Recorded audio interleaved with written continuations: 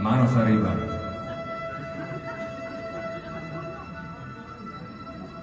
Zwei Drittel meines gesamten Sparens.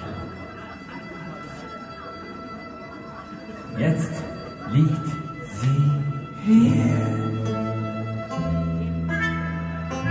Im Hier und Jetzt.